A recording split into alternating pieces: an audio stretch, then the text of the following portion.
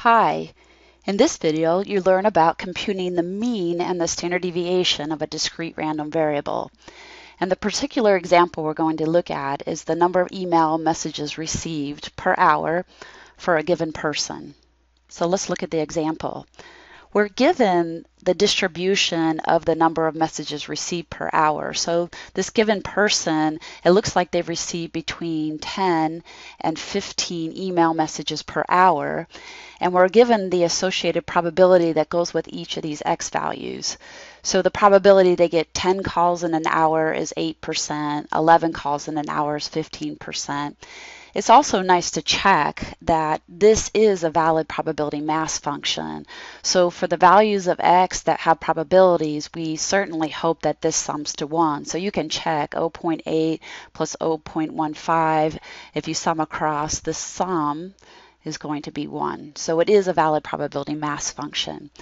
What we'd like to do now is compute the, compute the mean or the expected value of the number of messages they receive per hour. So the notation is expected value of x. And expected value of x really is just a weighted sum of the x values. I mean, 10 occurs 8% of the time, 11 occurs 15% of the 12 time, 12 occurs 30% of the time. So the sum is really just a weighted average of the x value. So I'm going to sum over the x's, uh, f of x, the probability mass function times x. So that's a fairly nice definition, and to me it makes sense you're weighting those x values. So let's go ahead and compute the expected value for this uh, particular example. Expected value of x is, um, let me see, 0.08 times 10 plus 0.15 times 11 plus 0.30 times 12. I'm going to continue this pattern all the way to the last value, 0.07 times 15.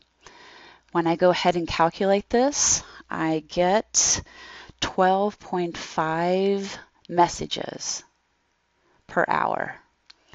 And, and let me remind you, uh, the mean is the long run average. So it's not like this person uh, going into the next hour, they're going to get 12.5 emails.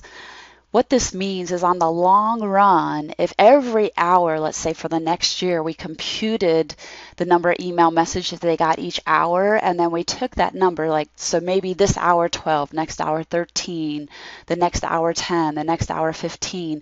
If we took all those values and actually averaged them on the long run, we would get 12.5. So again, the mean is a long run average. Okay, so next we want to compute standard deviation, but to do that we need to compute the variance of this random variable first. So variance of x also has a nice formula given in this chapter.